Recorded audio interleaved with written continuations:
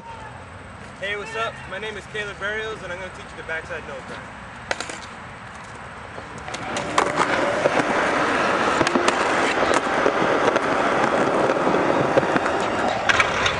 For the backside nose grind, you want to put your front foot right behind the front bolts right here.